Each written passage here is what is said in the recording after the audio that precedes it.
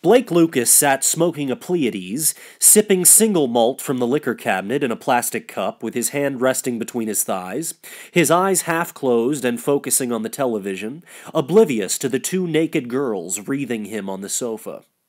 Elizabeth leaned over into the mirror resting by Blake's lap, a rolled dollar bill pinched between her thumb and forefinger.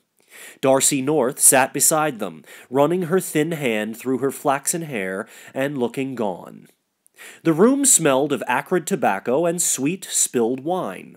A bottle of Sauterne lay ravaged, without its S and decapitalized, on the oak coffee table. A small pool of gold just under the neck. A pair of discarded black panties, the collected works of Toulouse-Lautrec, and Blake's feet lent balance to an otherwise minimalist still life. Darcy felt extremely tired, but she knelt into Blake's lap, where the Coke mirror now rested, and bumped her weary soul back into the present. The television mocked the scene in grayscale. A VHS tape of a French farce tickled Blake's temperament and bored the two girls to tears. Blake chewed lightly on the end of his cigar, musing on the spirits of Where There's a Will, while Lou Reed crooned in the background on Walter Scott's new disc changer, beginning to see the light bouncing through the heavy air, riding on wisps of blue smoke.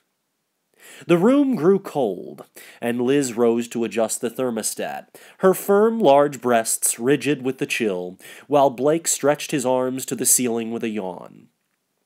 He slapped Darcy on her bare ass and said, It's been fun, girls. Same time tomorrow? Darcy looked askance at Liz, who was standing before the thermostat, shivering, trying to read the gauge in the half light, and then up at Blake, poised and sleepy eyed above her, flicking ash into an empty wine glass and smiling broadly. I don't know, Blake. Call me tomorrow. Sure thing, babe. Wear that red skirt, Kay. Okay.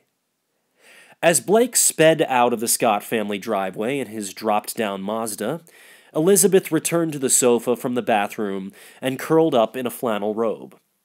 Darcy sat naked still, the monochromatic glow of the television dimly revealing the thousand yard fatigue in her eyes, her hands fumbling nervously with Blake's abandoned Dixie cup.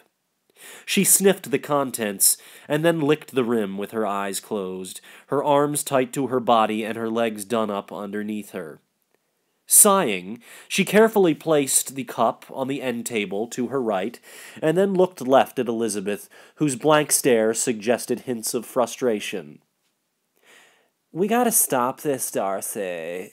He's not that cute. He's not smart. And his father works at Woolworth. I know. You mind if I sleep with you tonight? No, but don't lay waste to the covers. And I get Tickle Me Elmo on my side.